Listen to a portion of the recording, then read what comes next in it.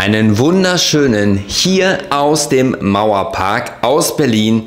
Ich bin Gray Young und das ist dein Männermagazin hier auf YouTube. Wenn du ganz neu hier auf diesem Kanal bist, Herzlich willkommen in der Männermagazin Community. Wenn du öfters mal ein Video geschaut hast von mir, dann bist du vielleicht ein bisschen überrascht, dass ich mich nicht mit den Worten Herzlich willkommen unter den Straßen von Berlin melde. Denn, wie ihr seht, ich bin woanders. Ich habe mein äh, Studio, ich meine, das war eher ein Platz in einem ja, fensterlosen Keller, der auch in der Winterzeit etwas kühler war habe ich eingetauscht und bin zurückgegangen in meine Wohnung, weil es einfach komfortabler ist. Und das ist mein erstes Video hier aus meinem Flur in oder aus meiner Wohnung am Mauerpark in Berlin. Und krasserweise das erste Video, seit es mich überhaupt gibt, auf YouTube in 4K. Krasser Shit. Schreibt mir mal, wie ihr die Qualität findet. So, heute möchte ich über ein für mich ganz, ganz besonderes Thema sprechen. Wusstest du, dass es eine Tablette gibt, die dich, wenn du sie regelmäßig einnimmst, vor einer Ansteckung mit HIV zuverlässig wie ein Kondom schützen kann? Es geht heute um die PrEP. Mach dir am besten eine Tasse Tee oder einen Kaffee. Ich habe heute schon genug Kaffee gehabt, deswegen gibt es für mich nur ein Wasser. Denn ich möchte mir wirklich viel Zeit nehmen, dieses Thema einfach mal jedem ganz nahe zu bringen. Es geht darum, äh, welche Voruntersuchungen man über sich ergehen lassen muss, sodass man dann diese am Ende verschrieben bekommt. Ich spreche über die Nebenwirkungen, über die Kosten natürlich, über meine ganz persönliche PrEP-Erfahrung, und natürlich auch darüber, wie man sie einnimmt, was man alles beachten muss. Und natürlich möchte ich auch einmal das Kapitel HIV hier bei uns in Deutschland anschneiden. Wenn dich das interessiert, wenn du wissen möchtest, wie meine ganz persönliche PrEP-Erfahrung ja aussieht oder aussah und warum sie quasi auch schiefgegangen ist, ja dann unbedingt dranbleiben.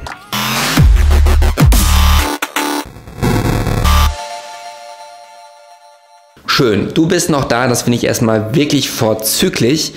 Äh, ich warte aktuell im Übrigen auf meine Lieferando-Bestellung. Ich habe Hunger, das könnt ihr euch nicht vorstellen. Es geht um die PrEP.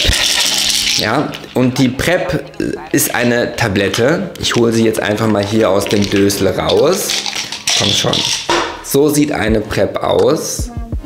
Ja, ich halte sie mal näher dran. Das ist eine solche PrEP, also ich sag mal, hat die Größe von einer äh, Vitamintablette. Ich habe mir diese verschreiben lassen. Ich habe mir die sogar ein zweites Mal verschreiben lassen. Äh, die Geschichte dazu geht wie folgt.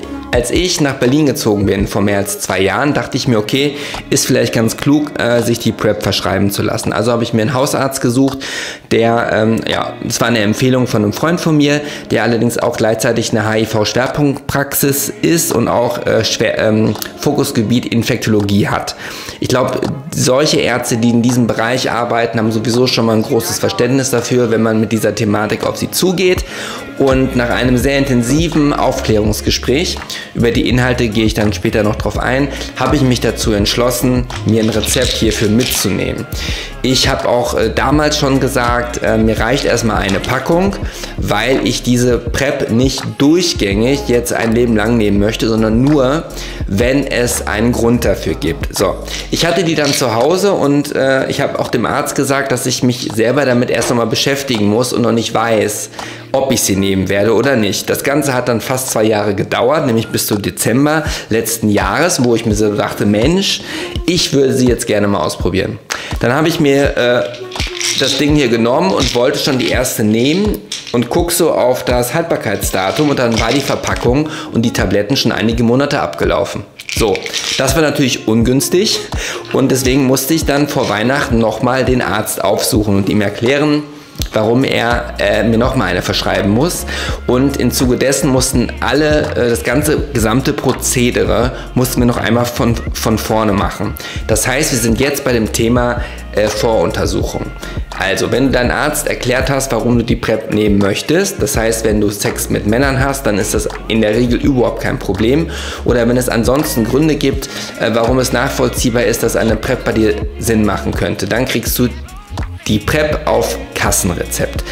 Die Voruntersuchungen sind sehr, sehr, sehr wichtig. Das heißt, bei mir wurde Blut abgenommen und es wurden äh, ein paar Abstriche gemacht. Das heißt, es wurde äh, sichergestellt, dass ich zum einen keine HIV-Infektion bereits in mir trage, dass ich keine Chlamydien, keinen Tripper, keine Syphilis und auch keine Hepatitis C habe. Das alles muss vorher abgeklärt werden und da muss man durch. Das äh, oder die Kosten dafür übernimmt auch komplett die Krankenkasse, Gott sei Dank. Und ja, dann kriegt man das Rezept, äh, während dann die Untersuchungsergebnisse dann eintrudeln. Das dauert ja erfahrungsgemäß immer ein paar Tage. So, dann habe ich dann irgendwann noch, äh, ja, kurz nach Weihnachten die Info bekommen per SMS, dass alles äh, wunderbar ist. Und äh, somit wusste ich, ich kann die PrEP tatsächlich nehmen. Das Rezept, wenn man das in der Apotheke abgibt, ich gebe zu, man fühlt sich ein bisschen komisch, ein Rezept für so etwas der Apothekerin auf den Tisch zu legen, aber da muss man einfach mal mutig sein. Und ja, es hat mich dann 7,05 Euro oder 7,08 Euro an Zuzahlung gekostet und damit bin ich dann nach Hause spaziert äh, und habe dann äh, sie dann auch bald angefangen zu nehmen. Bevor es um meine persönliche äh, Erfahrung geht mit PrEP und was daran schiefgelaufen ist, äh, möchte ich an dieser Stelle über die möglichen Nebenwirkungen mal sprechen. Also es ist, es ist nicht nur wichtig, vor der Einnahme quasi die sexuell übertragbaren Krankheiten abzuklären, dass sie auch nicht bei dir vorhanden sind und dass du kein HIV hast. Aber es können Nebenwirkungen auftreten.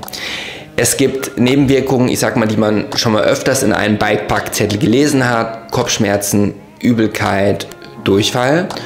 Äh, es gibt auch aber langfristige Auswirkungen dieses Medikaments, die halt auftreten können, die da wären, dass die Knochendichte abnimmt oder auch, dass die äh, Niere an Leistungsfähigkeit einbüßt. Deswegen auch die Nierenwerte immer mal wieder kontrolliert werden müssen. Das heißt, wenn du hiermit startest, musst du alle drei Monate spätestens mal beim Arzt wieder aufschlagen und die ganzen Tests über dich neu ergehen lassen. So.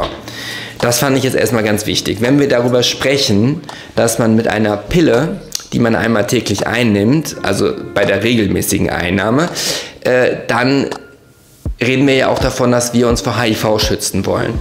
Und HIV in Deutschland, dazu möchte ich nochmal einen ganz kurzen Break machen, weil ich es essentiell wichtig finde, dass man da mal die Leute nochmal abholt. Eins mal vorweg, wenn du auf einen Menschen triffst, der HIV hat und der in Behandlung ist und wo es nachgewiesenerweise so ist, dass seine Viruslast einfach nicht mehr im Blut nachweisbar ist, dann kannst du dich, wenn du mit diesem Mann, mit diesem Mann, es gibt ja auch Mann und Frau, die miteinander Sex haben, dann kannst du dich bei den Menschen nachweislich nicht, warum sage ich immer nachweislich, du kannst dich auf jeden Fall nicht mit HIV anstecken, wenn die Person mit HIV in Therapie ist und die Viruslast unter der Nachweisgrenze ist. In anderen Worten ausgesagt oder ausgedrückt bedeutet das, eigentlich gibt es nichts sicheres, als einen Sexualpartner zu haben, bei dem HIV diagnostiziert wurde, der in Therapie ist und wo die Viruslast einfach nicht nachweisbar ist. So viel dazu, dass man oder viele oder die meisten irgendwie denken, dass wenn sie auf einen Menschen treffen, der HIV hat, dass sie direkt per se kategorisch ausschließen, äh, mit dieser Person Sex zu haben. Also das sollte man immer auf jeden Fall ganz krass überdenken, weil eigentlich gibt es da überhaupt keinen Grund zu. Was glaubst du, wie viele äh, Menschen in Deutschland mit HIV leben? Ist nicht eine ganz einfache Frage, deswegen löse ich sie mal direkt auf. Also in Deutschland leben, ich habe einen ganz kleinen Spickzettel gemacht, damit ich auch nichts Falsches sage. Und die Zahlen stammen aus dem RKI-Bericht. RKI ist jetzt ja allen ein Begriff, seitdem es äh, Corona, Covid und Omikron gibt. Ähm, in Deutschland leben 91.400 Menschen mit einer HIV-Infektion. Was finde ich eine ganz schöne Menge ist.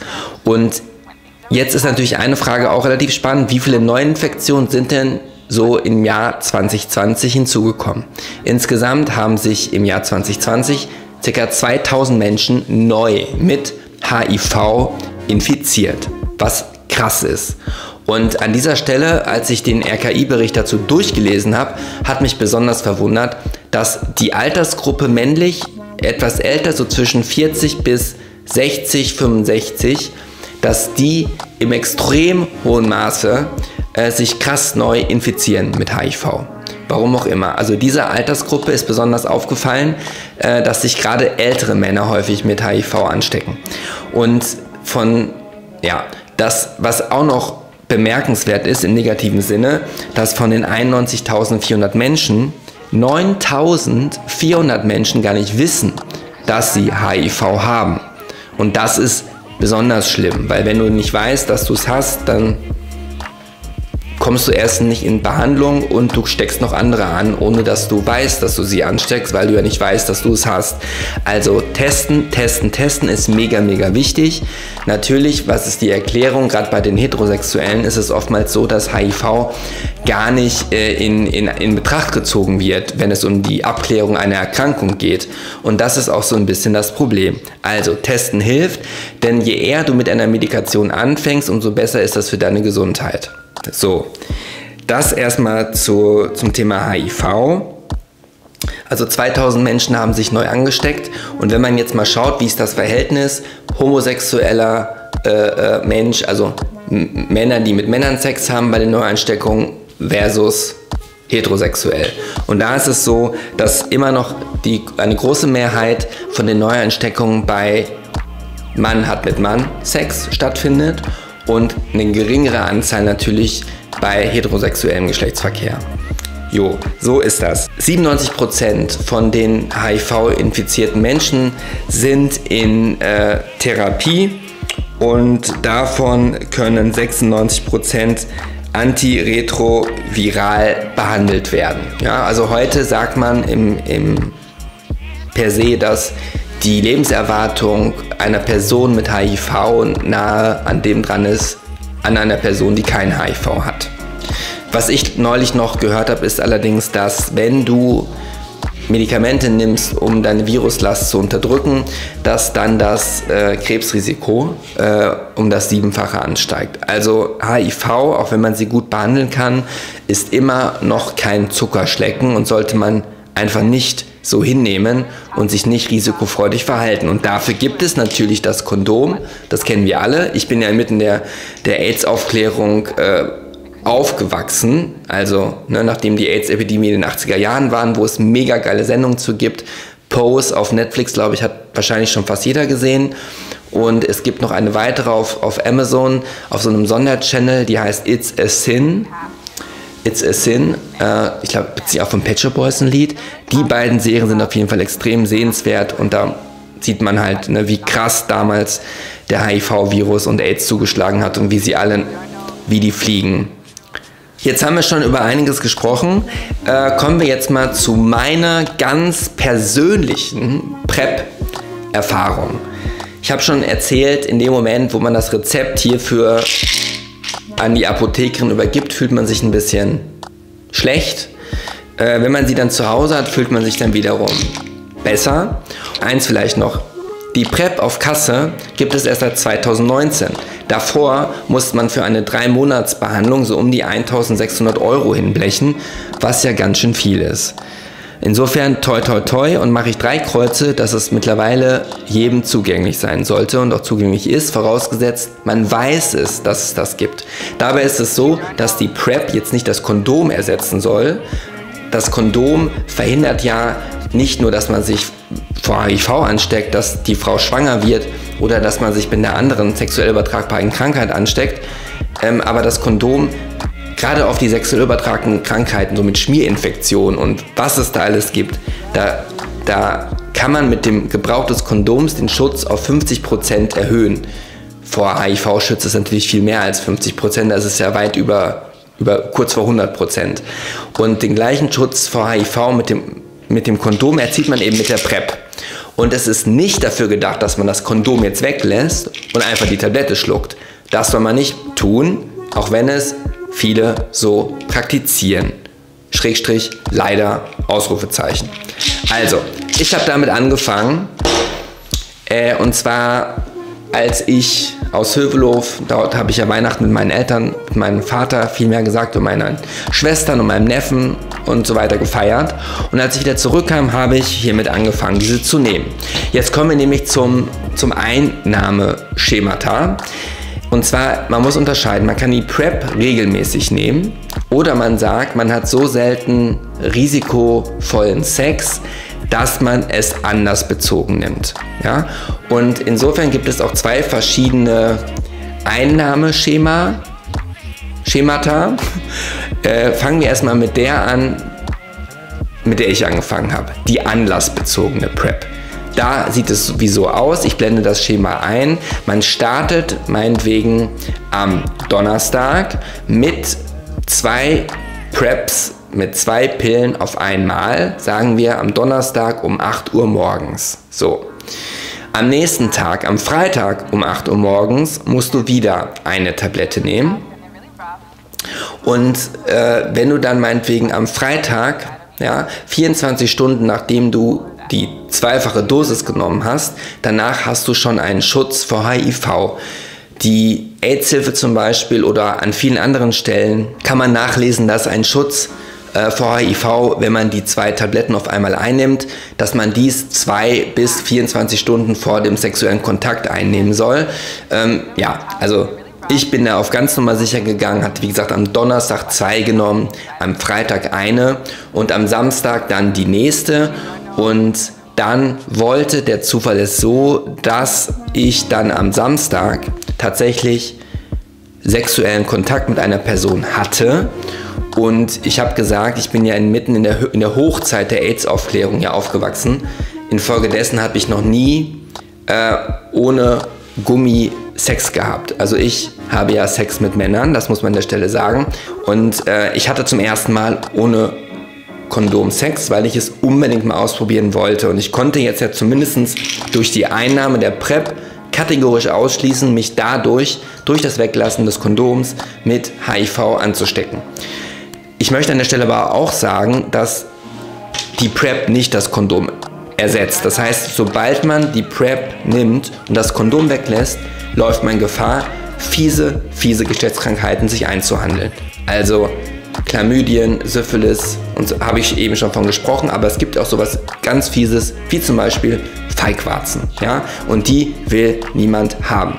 Ich kenne eine Person, äh, die hatte sogar eine Feigwarze in der Harnröhre, die musste dann dort rausgelasert werden. Also Leute, nutzt Kondome. Ich habe es für mich einmal diese Erfahrung ähm, sammeln äh, wollen und ich muss sagen, ähm, ich, ich fand es wirklich beeindruckend im positiven Sinne.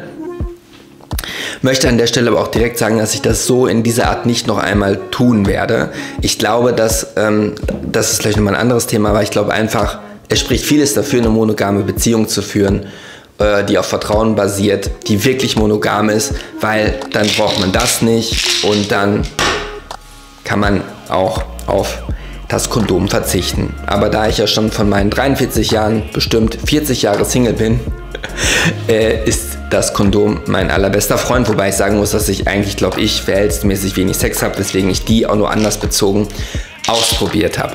Und an dieser Stelle möchte ich jetzt dann auch doch mal auf darauf eingehen, warum ich die Prep wieder abgesetzt habe oder was bei mir schiefgegangen ist. Äh, und zwar ich habe die Nebenwirkungen angesprochen, die sich einstellen können und ich hatte Kopfschmerzen. Ich konnte jetzt nicht genau eindeutig zu, äh, zuordnen, ob die Kopfschmerzen aufgrund von einem Temperaturumschwung im Wetter kamen, weil es war sehr kalt, dann wurde es auf einmal frühlingshaft 11, 12 Grad. Da bin ich auch sehr wetterfühlig, was äh, Kopfschmerzen angeht, aber ich hatte Kopfschmerzen, während ich die PrEP genommen habe und es war so, dass mein Magen ab dem zweiten Tag ein bisschen sich flauer angefühlt hat und äh, die haben meinem Magen definitiv nicht gut getan. Man soll natürlich idealerweise die Prep mit einer Mahlzeit einnehmen. Das habe ich, äh, ja, ich habe jetzt keine krasse, richtige, volle, volle Mahlzeit genommen. Ich habe halt eine Kleinigkeit gegessen, das war auf jeden Fall zu wenig. Ich hatte einfach ein Unwohlsein im Magen. Und die Verdauung war auch eher flüssig als fest, wenn ich mal so ehrlich sein darf. Und es ging halt dann auch schon eher so Richtung so leichtes Magengrummeln und Unwohlsein und dass ich mich nicht komplett leistungsfähig gefühlt habe. Und was auch hinzukam, dass ich krass müde war. Insbesondere morgens, aber auch abends. Ich war krass müde. Und das alles hat dazu geführt, dass ich gesagt habe, nee, also wenn überhaupt bleibe ich bei anders bezogen und tendenziell würde ich die Prep sowieso komplett sein lassen. Es gibt viele, die vertragen sie ausgezeichnet und da freue ich mich für diese Person.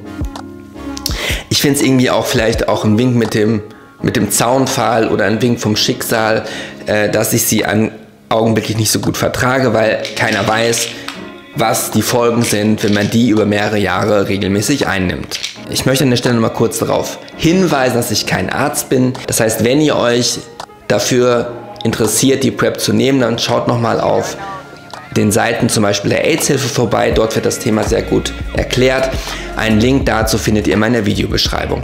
Ich habe die anlassbezogene PrEP benutzt. Ihr könnt sie aber auch regelmäßig benutzen. Dort sieht das Einnahmeschemata natürlich anders aus, was ich an dieser Stelle nochmal einblende. Und nimmt dann jeden Tag kontinuierlich immer einmal am Tag zum gleichen Zeitpunkt eine Tablette ein. Genau.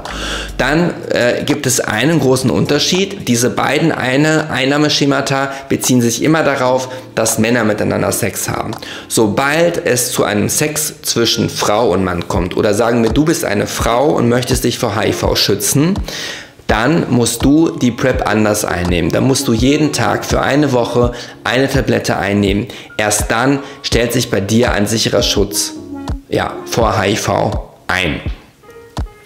Wie wirkt die PrEP eigentlich? Bei der PrEP ist es so, dass ausgerechnet jetzt kommt mein Salat. Sekunde. So, mein Salat ist da. Naja, ich werde das Video noch zu Ende bringen und dann stürze ich mich auf den.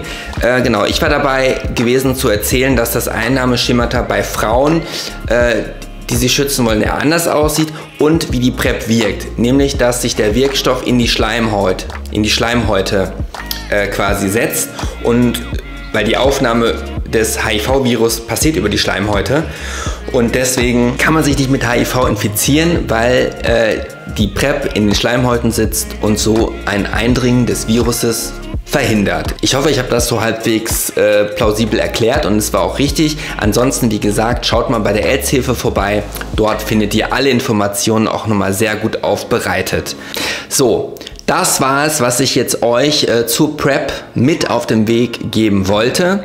Wenn ihr noch Fragen habt äh, zur Prep oder zu meiner Prep-Erfahrung, dann schreibt es mir gerne in die Kommentare. Ich werde jeden Kommentar beantworten. Mich würde es natürlich auch sehr interessieren, wer von euch selber Prep nimmt oder schon mal Prep genommen hat oder welche Meinung ihr zu dem Thema habt. Findet ihr es generell gut, dass es jetzt quasi eine Pille auf Rezept gibt, mit der man sich vor HIV schützen kann?